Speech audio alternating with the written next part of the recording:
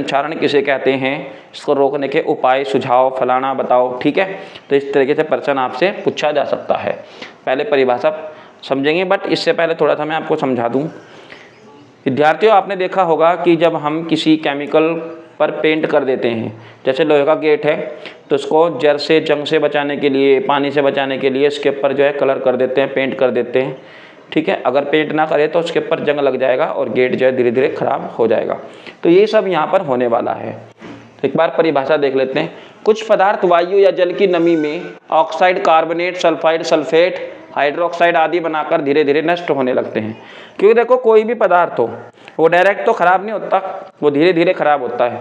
या तो sulphur die oxide इस तरीके से बनाएगा मतलब सल्फेट बनाएगा, सल्फाइड बनाएगा, कार्बोनेट बनाएगा, ऑक्साइड बनाएगा, हाइड्रेट बनाएगा या हाइड्रोक्साइड बनाएगा, आदि बनाकर धीरे धीरे नष्ट होने लगते हैं। इस प्रक्रिया को संचारण कहते हैं। आपने कहा कैसे? उदाहरण इसके यहाँ पर लिखे हुए लोहे पर जंग लगना, चांदी व सोने का काला पड़ना। कुछ कुछ जगह की वायु ऐसी होती है, वायु ऐसा होता है वातावरण ऐसा होता है कि सोना चांदी भी जो है काला पड़ने लगता है। अगर आपके यहाँ ऐसा कुछ है तो मुझे कमेंट करके बताइए कि अगर आपके यहाँ पर भी सोना चांदी काला पड़ जाता है। और आप कहाँ से हो ये भी मुझे कमेंट करके बता दीजिएगा, ताकि इस बात का अंदाज़ा लगाया जा सके कि वहाँ का वातावरण के हिसाब से पानी, जलवायु कैसा है और वहाँ पर किसी धातु पर किस प्रकार का प्रभाव जो है पड़ सकता है। ठीक है? ये हो गया हमारे पास संचारण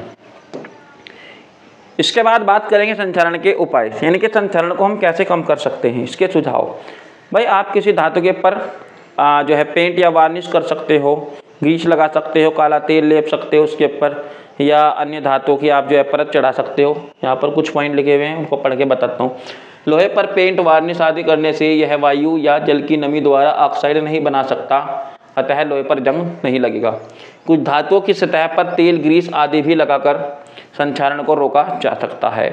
अन्य धातु की परत चढ़ाकर भी संचारण को रोका जा सकता है विद्युत अपघटन क्रिया द्वारा।